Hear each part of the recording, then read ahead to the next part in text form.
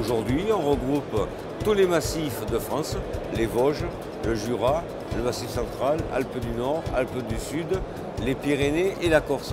Tous cet ensemble porteuse de messages forts, c'est une montagne. S'il y a une entreprise des Bouches-du-Rhône, une entreprise de Vaucluse, une entreprise des Alpes-Maritimes qui est toute seule sur son territoire, cet esprit collectif fait qu'on rassemble aujourd'hui sur 500 mètres carrés l'ensemble de la région Provence-Côte d'Azur.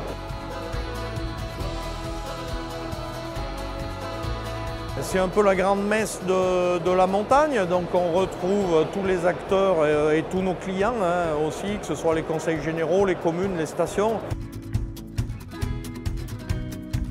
C'est maintenant un salon que je trouve cette année aéré, professionnel, et ça c'est sûr depuis très longtemps. Et là on sent vraiment la puissance de l'industrie du ski et puis même de la montagne en général euh, chez nous en France. Et ça c'est important. il y a beaucoup de choses qui se décident ici en termes d'aménagement de, la montagne, de construction de remontées mécaniques, etc.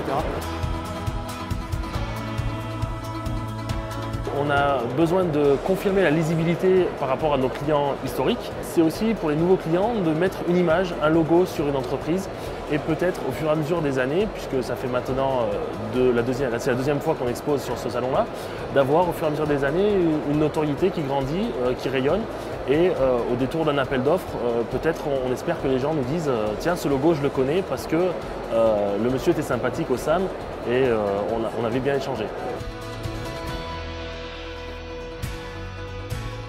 Il y aura un intérêt d'agir collectif que si derrière nos entreprises individuellement font du business.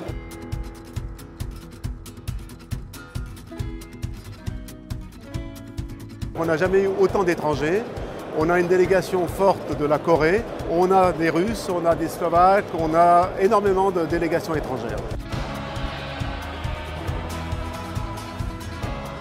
C'est bien de démarrer à un endroit parce qu'on habite dans cette région et parce qu'on aime cette région, mais il ne faut pas être sectaire, il faut aussi communiquer avec les autres, euh, les autres territoires pour échanger.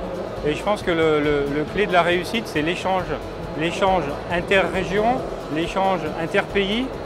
C'est le, seul moyen, à mon avis, pour arriver à mettre en place après tout un réseau comme, on trouve ici sur ce genre de salon, où vous avez euh, une communication euh, internationale de tout ce qui se passe en, stratégie euh, commerciale ou technique sur le marché du ski.